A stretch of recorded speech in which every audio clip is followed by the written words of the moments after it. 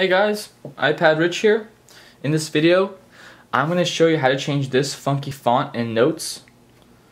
Okay?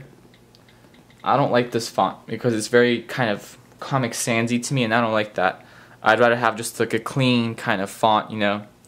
So, if I want to change this font, what do I have to do? I'm going to go to my home button and then I'm going to click on settings, the gears, and then I'm going to go scroll down until I see notes in the left panel. And there's three different fonts we can select in notes.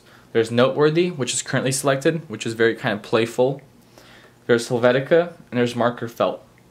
Marker Felt also looks very similar to Noteworthy, so I'm not going to keep that. I don't want to have that. I'd rather just read regular text. So I'm going to go back to settings, and I'm going to choose Helvetica.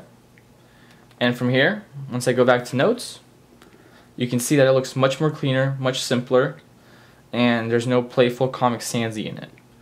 You know, that makes it easier, a lot, a lot easier for me to read the notes, especially when I have a lot of different paragraphs and essays that I need to read. So, you know, this is just a nice, simple way to make it easier on your eyes. Okay? Uh, my name is iPad Rich. I hope you've enjoyed this video. And click the link below to check out my friend iPad Pete who can help you unleash the potential of your iPad. Alright? He can help you with anything you need. So click that link and check him out. You guys have a great day. Bye.